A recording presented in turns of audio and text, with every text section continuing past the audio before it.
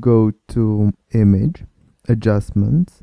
Here you have everything you need to modify your image.